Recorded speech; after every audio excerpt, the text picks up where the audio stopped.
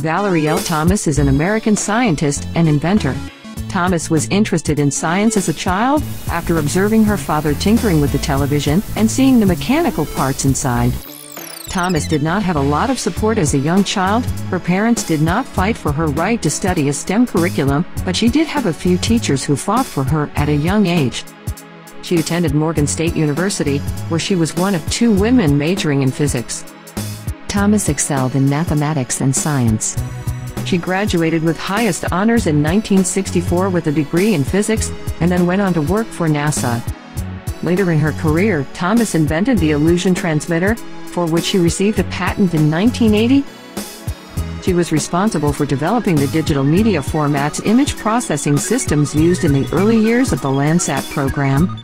Among her notable achievements, Thomas has received numerous awards including the Goddard Space Flight Center Award of Merit and NASA's Equal Opportunity Medal.